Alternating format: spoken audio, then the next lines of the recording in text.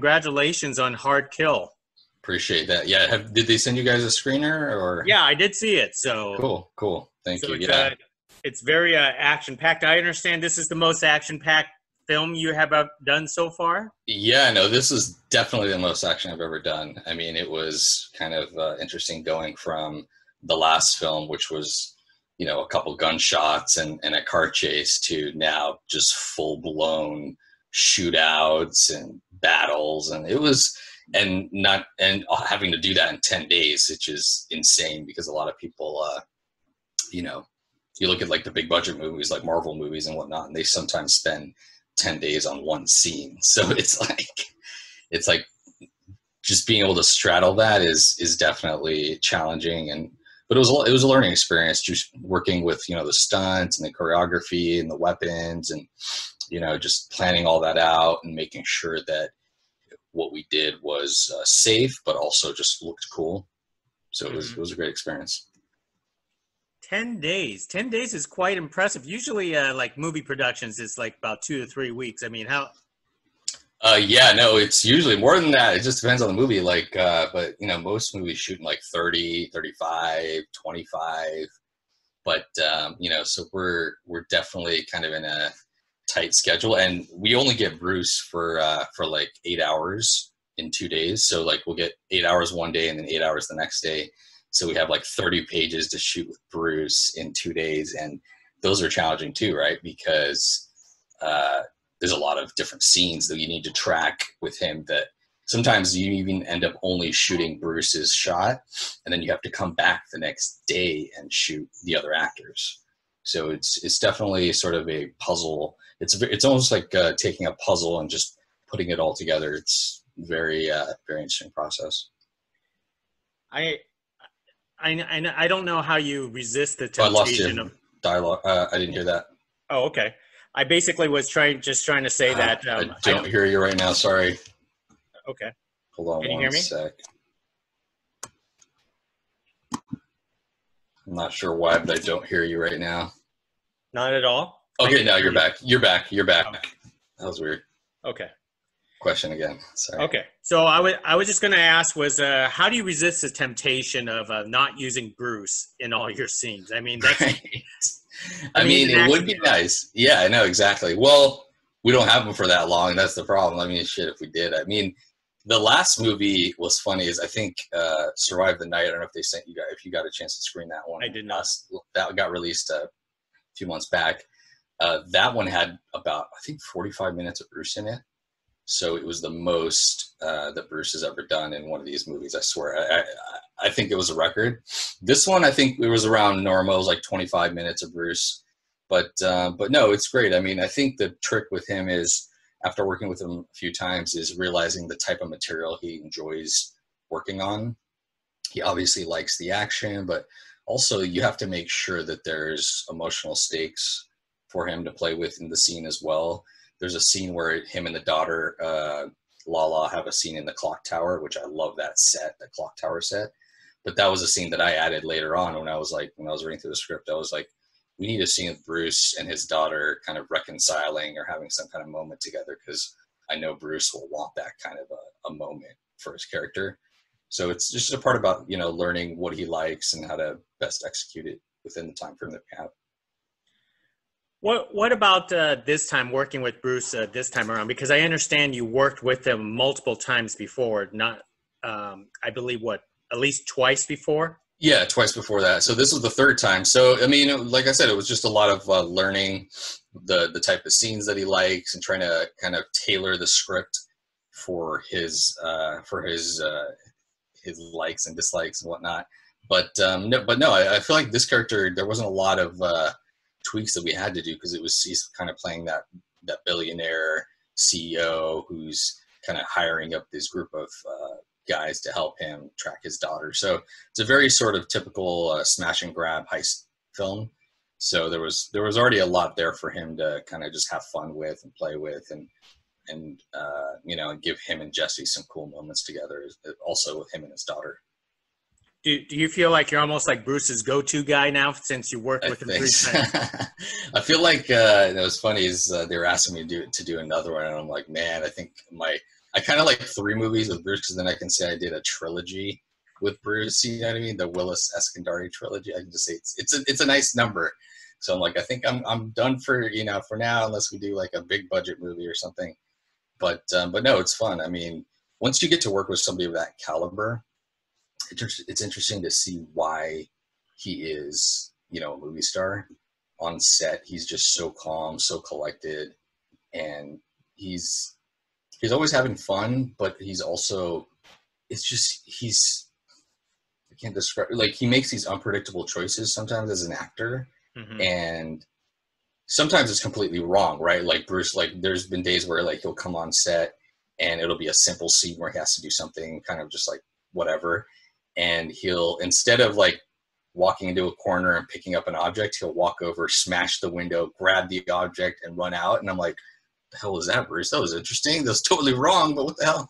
But then he'll make those sort of decisions. Sometimes he'll do stuff and it it's unpredictable, but it'll elevate the scene or just kind of, you know, take it to another level. And I think those sort of actors, those kind of uh, actors of his caliber, they have an artistry towards their acting choices where it it's unpredictable and it, it sometimes it it just takes the scene to another level. You know what I mean? Like in the other actors, sometimes you get actors and they make just the same boring. They'll read a scene and they'll they'll interpret it the most safe and boring way possible. Oh, I walk over here, I pick up a thing, and I.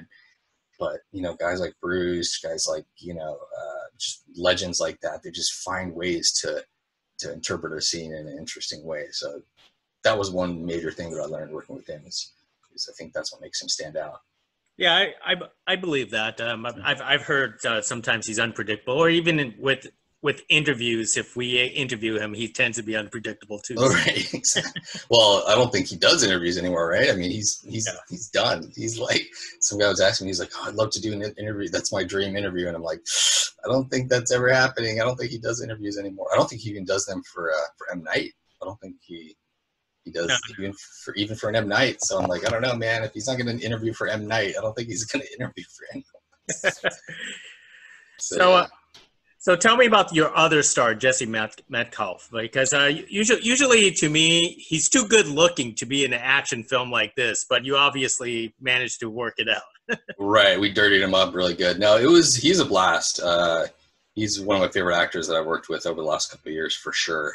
Super dedicated uh, you know, he showed up to bring in 110%. I mean, he understood, you know, we got a fast shoot, but I need him to kind of really kind of own the scenes and kind of help, you know, and, and it, usually in an ensemble cast like this, uh, the other actors are looking towards their leader in a, in a way to kind of guide them as well. And I feel like he stepped into that role of the leader as the actor to sort of kind of, you know, so Natalie and all these, you know, Swen and all these, this team of other actors really looked up to him as their kind of mentor because he's an experienced actor and he's been doing this for a long time.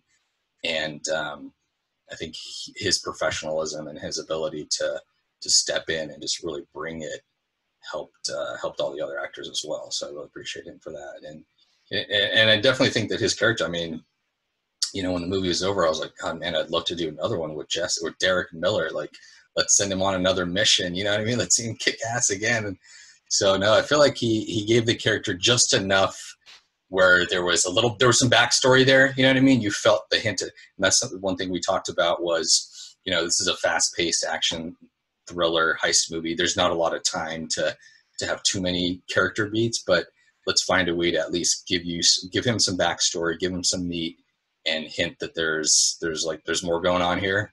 So I think he really helped kind of just uh, to bring that a bit kind of help elevate and give some depth to the role.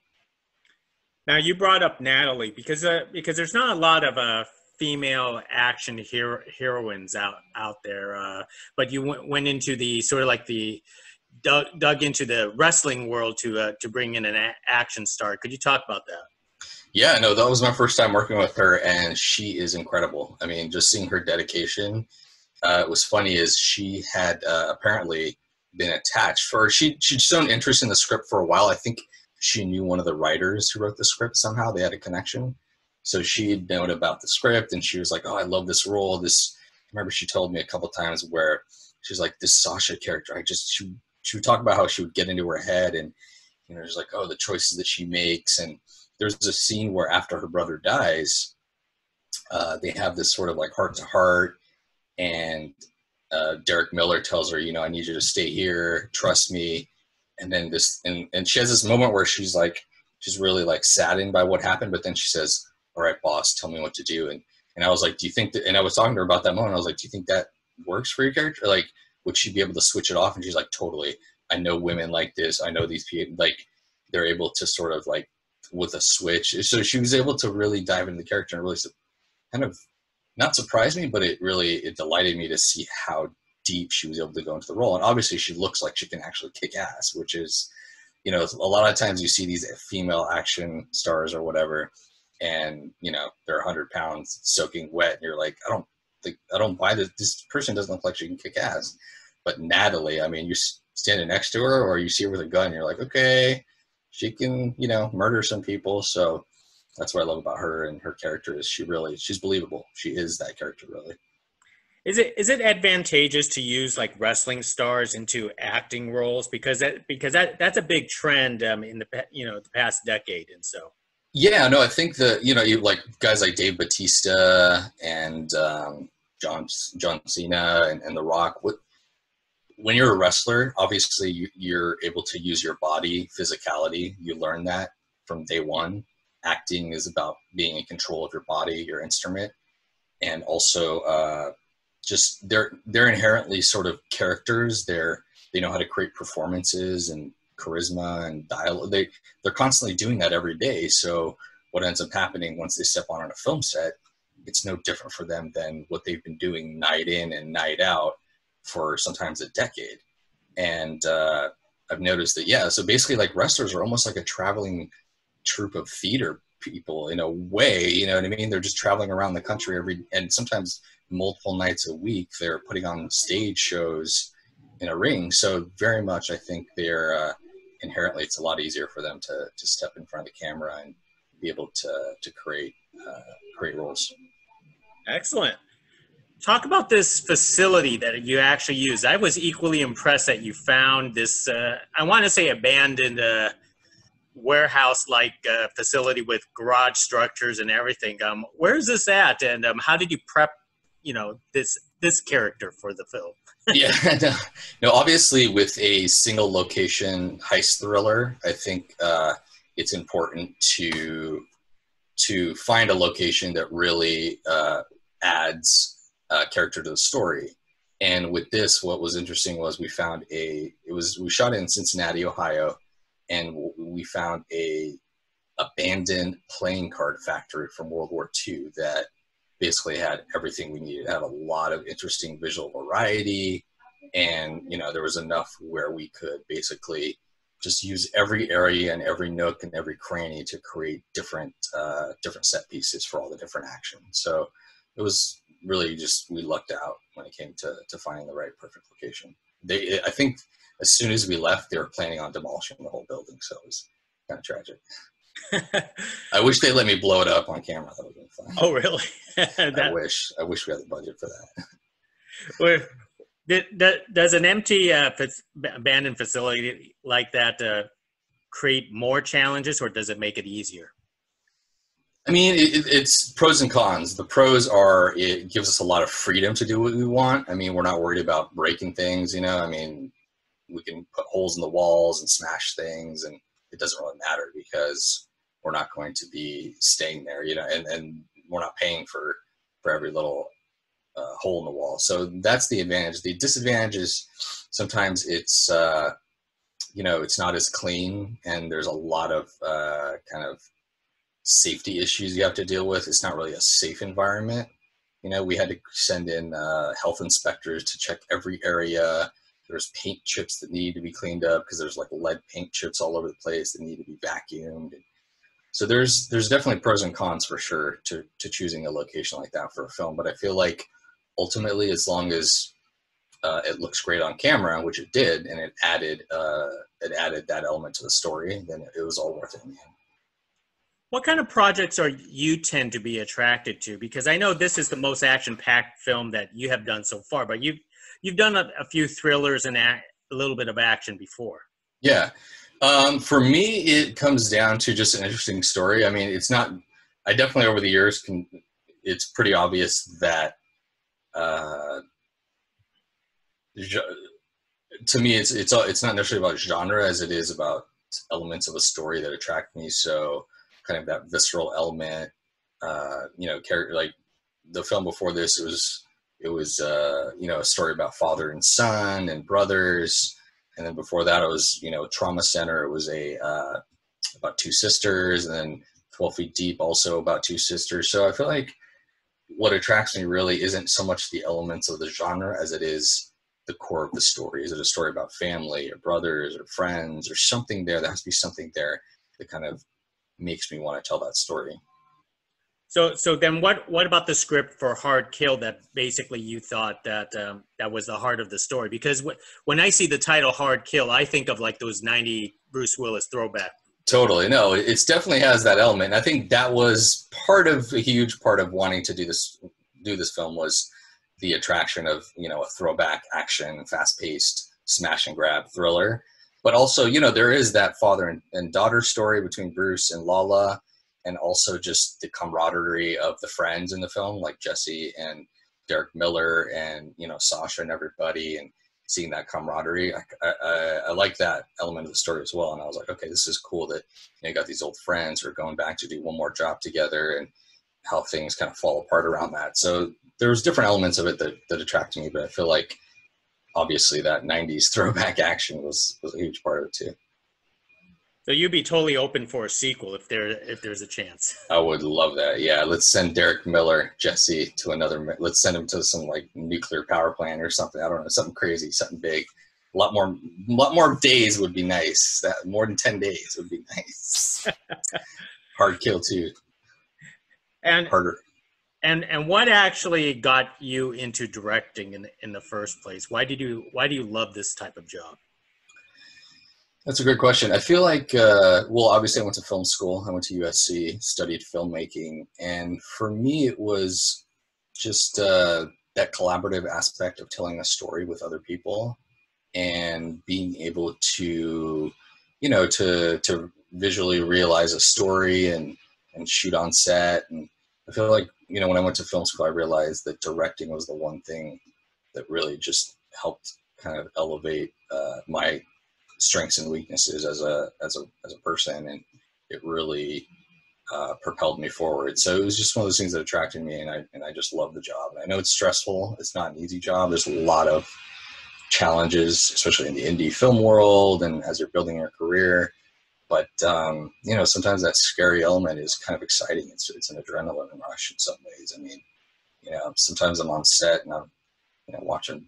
I'm like, okay, I'm standing next to Bruce Willis. I'm blowing some shit up. People are like, I can't complain, man. I could be sitting behind a desk right now. You know what I mean? Like this is this is fun. Yeah, it's stressful, and yeah, I got people breathing down my neck. But hey, what's the alternative? You know what I mean? Sit behind a desk, typing away something. So you know, it's it's definitely fun.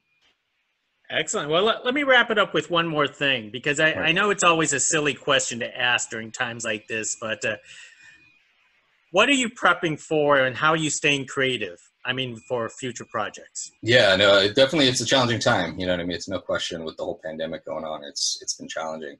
So for me, I've just been you know reading, writing, trying to kind of you know look at other material, see what I want to do next, and how I want to kind of challenge myself again as you know the industry kind of kind of goes back to normal and how that normal normalcy is going to affect the filmmaking process. I'm hoping it won't much, but you know, I guess we'll have to wait and see as things settle down. And and uh, and I don't have any films ready to shoot yet, so it's going to be interesting to see as this all settles. You know, what what's going to be the first project to to go up. Excellent. Well, hey, thank you very much, Matt, for for speaking with me. Um, I I ended up watching the movie twice just because I I just like the uh, throwback, uh, you know, 80s and 90s ac- action film.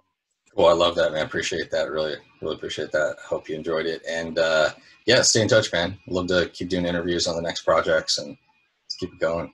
Yeah, not a problem. Let's do this again next Let's time. Let's do it again. Next time, let's do it again. Great. Have a great time, man. Take care. Thank Pleasure. You. Bye. Bye now.